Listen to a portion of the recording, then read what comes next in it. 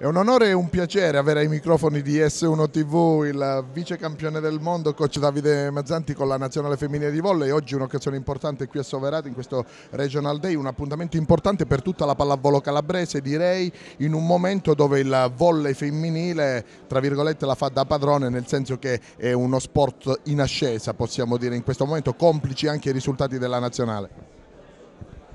Sì, anche, anche, se poi quello che sta facendo ad esempio il volley soverato è qualcosa che ha una, una gittata molto più lunga eh, e credo che la nazionale abbia contribuito a fornire entusiasmo. E noi stiamo cercando di condividere un po' quello che è stato il nostro percorso mondiale con tutti gli allenatori e quindi sia dare spunti ma anche prendere entusiasmo perché credo che abbiamo bisogno gli uni degli altri. Una nazionale che è arrivata alla finale mondiale con un gruppo di giovani importanti ma un gruppo di giovanissime. Il Volley Soverato quest'anno ha scelto di disputare un campionato con tantissime giovani, alcune provenienti proprio dal Club Italia, quindi le, facendo le debite proporzioni ci sono delle similitudini sulla, eh, sul progetto, eh, sta ottenendo ottimi risultati il volley soverato, lei ha avuto modo anche di conoscere coach Bruno Napolitano, quindi eh, un, volevamo un, un, suo giudizio anche su questo campionato che sta disputando il volley soverato perché ci sono tantissime giovani interessanti che chissà un domani potrebbero essere alla guida di coach Mazzanti nazionale. Ma io credo che fare esperienza con delle giovani e fare il risultato sia qualcosa di incredibile. E, e, quindi se capita ovviamente è una cosa di cui andare fieri. Ma anche se o la mia nazionale o il volley soverato avesse raccolto meno di quello che sta raccogliendo, non penso che eh, il progetto eh, vada così rivisto o, o modificato. Credo che l'esperienza a volte ha bisogno di un po' di tempo e se poi raccogliamo anche i risultati subito sia qualcosa di strepitoso, ma questa pazienza non ce la dobbiamo dimenticare quando abbiamo delle giovani con noi.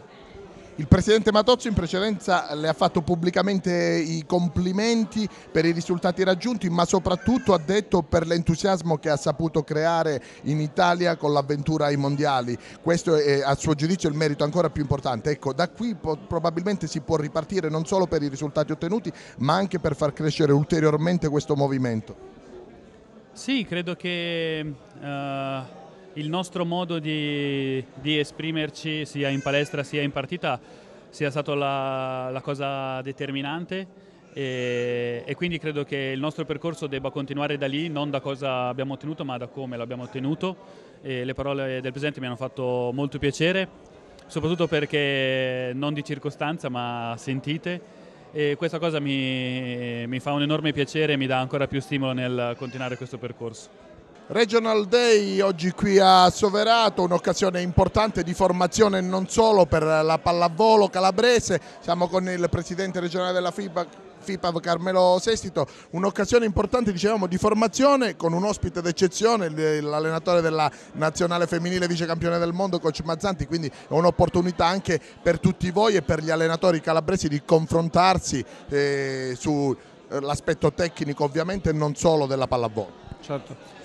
È sicuramente una giornata importante, anche la scelta di Soverato è stata strategica, è un premio che merita il Presidente Matozzo e la sua società che stanno lavorando da tanti anni per portare questa, finalmente un ritorno della 1 femminile in Calabria.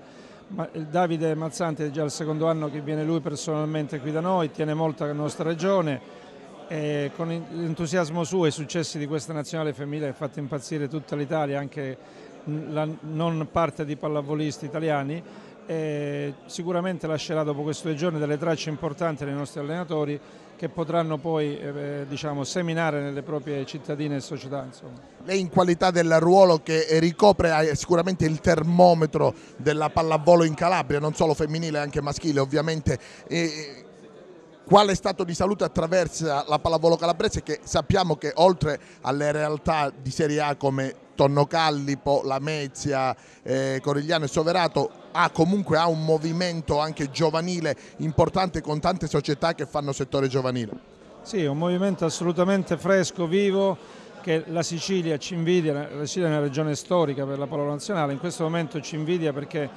dietro queste società di Serie A, che al momento sono solo tre, c'è tanto, tanto lavoro da parte appunto, dei tecnici, dei dirigenti appassionati. Il nostro problema che piano piano stiamo cercando di superare è quello dell'impiantistica sportiva dove siamo purtroppo in una situazione difficile. Ricordiamoci purtroppo che la Calabria è la prima regione in Italia per scioglimento di amministrazioni comunali per infiltrazione mafiosa, quindi i commissari quando arrivano fanno il loro dovere al 100%, magari qualche amministratore è più elastico in certe situazioni eh, di permessi provvisori per far giocare le squadre. La Mezzi abbiamo avuto la triste esperienza un anno e più senza impianti, la Serie A che sta rischiando appunto di, di scomparire, la Serie B anche, ecco, quindi eh, speriamo di riuscire con queste nuove leggi anche dello Stato ad avere dei finanziamenti, avere un palazzetto a Soverato, uno a Castroville, uno alla Mezza, come, come ci sono buone speranze di averli.